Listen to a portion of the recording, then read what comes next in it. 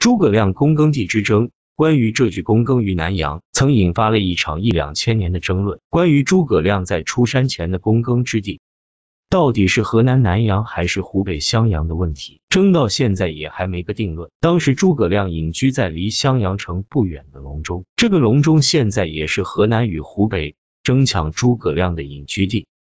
诸葛亮到底是南阳人还是襄阳人？实际情况是，诸葛亮居住的这个地方。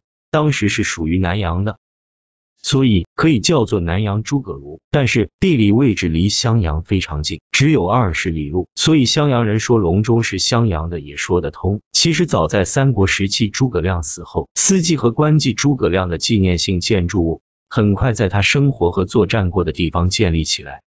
南阳作为诸葛亮自表躬耕之地，自然为他竖起了一座存德念功的庙宇，这就是闻名遐迩的南阳诸葛庐，又名武侯祠。同样的，襄阳隆中也较早的为他修建了一些纪念性建筑。从此，南阳与襄阳之间就诸葛亮躬耕地的问题开始了旷日持久的笔墨之争。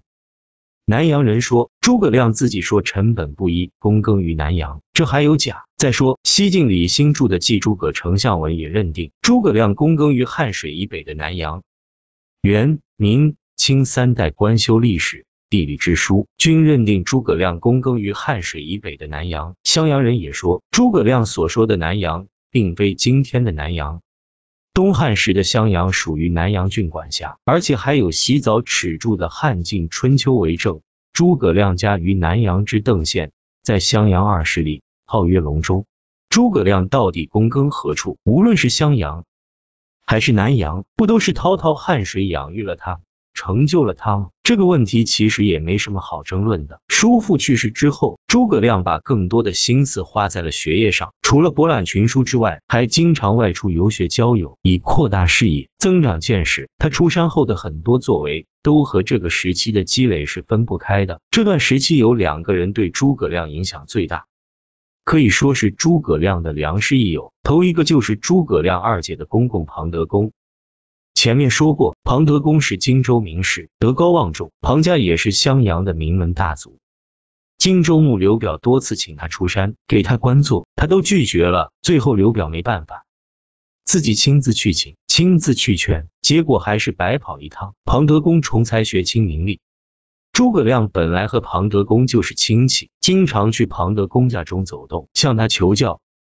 每次去都是独拜床下，非常恭敬。庞德公一开始也不加以制止，时间长了，在教导诸葛亮的过程中，他逐渐对这个年轻人的才学和志向有了比较全面的了解，觉得他将来必是有用之才，所以送了他一个称号，就是众所周知的卧龙。庞德公有一个侄子庞统，也是才学出众，庞德公称他凤雏，这也就是《三国演义》中所说的伏龙凤雏。二人得一，可安天下的由来，而卧龙这个号也就流传了下来。第二个影响诸葛亮的人，就是水镜先生司马徽。司马徽，颍川郡人，是从北方迁居到荆州的，与庞德公是好朋友。司马徽也是当时的名士，有不少年轻人都向他求学，有点大学教授的味道。有这么一位大学者近在眼前，诸葛亮怎么可能放过？他经常去向司马徽请教。苦心攻读，学业方面进步的很快。司马徽也很器重这个年轻人，日后刘备三顾茅庐，成为千古佳话，很大程度上得益于司马徽对诸葛亮的推荐。诸葛亮的政治婚姻在襄阳当地流传着这么一句顺口溜：莫作孔明择妇，只得阿成丑女。就是说，不要像诸葛亮那样选老婆，只娶了黄承彦的丑女儿。史书上形容诸葛亮有一群之才。英霸之气，身长八尺，容貌甚伟。总而言之，就是一个字帅。他怎么会娶一个丑女为妻呢？这是闽南名士黄承彦主动找上门来的。黄承彦和庞德公一样，也是荆州当地的大族。这个人性格开朗，学富五车。诸葛亮曾经多次向他求教，黄承彦也很看好诸葛亮。一天，黄承彦主动找到诸葛亮提亲，说身有丑女，黄头黑色。而才堪相配，就是说我有一个女儿，长得很丑，头发很黄，皮肤很黑。虽然人长得丑，但是才学方面却可以和你诸葛亮相媲美。诸葛亮很爽快的就答应了。诸葛亮一点头，黄承彦立即就用车子把女儿送过去成亲。实际上，黄承彦所谓的丑女，应该是自谦的说法。相对于诸葛亮的相貌，黄氏女的黄头发、黑皮肤肯定要差许多。一个相貌堂堂且才学出众的美男子，娶了一个貌不惊人的女子，很自然的会被传作画饼，甚至当作笑话。一传十，十传百，越传越丑，越描越黑。而诸葛亮选择黄氏女。是因为重才不重貌的说法也是站不住脚的。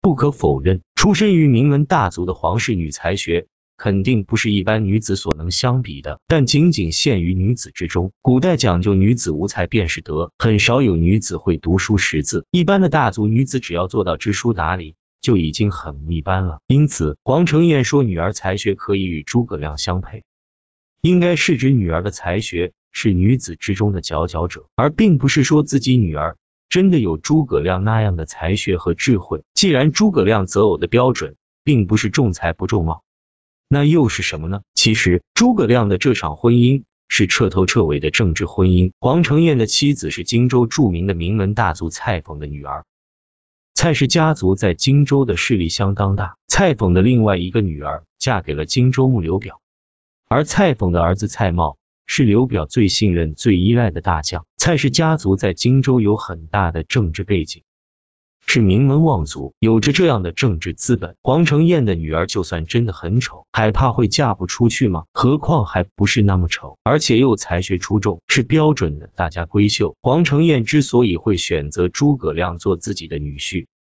除了诸葛亮本人的相貌。